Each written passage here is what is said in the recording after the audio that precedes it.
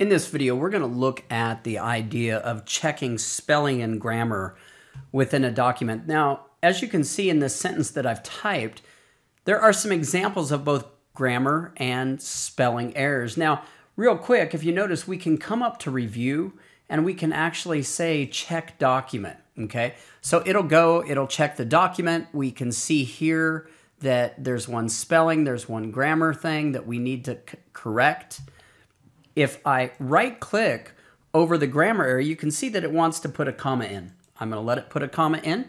That corrects the grammar error. Right here, it doesn't know what this word is. Now it's going to assume that what I want is type.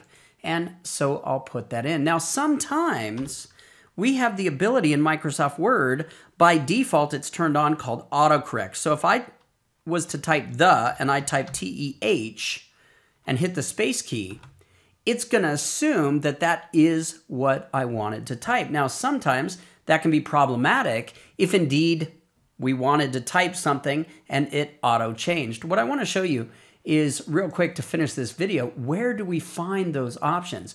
So if you notice I clicked on the File tab, I'm coming down to Options. The Options bar is going to open up and I'm going to go look at Proofing. So here are my options. First of all, auto correct options.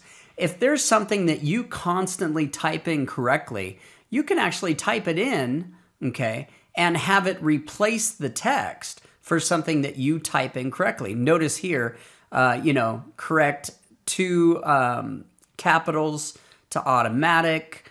These are all corrections that are made automatically. So, for example, you know, we now have the whole emoticon thing. So when we type things in using emoticons, we really probably want them to correct emoticons. These, again, a plethora of words that are commonly mistyped and auto corrections that get made. Okay, so an example is that I used to use is my last name. My last name is Magidson.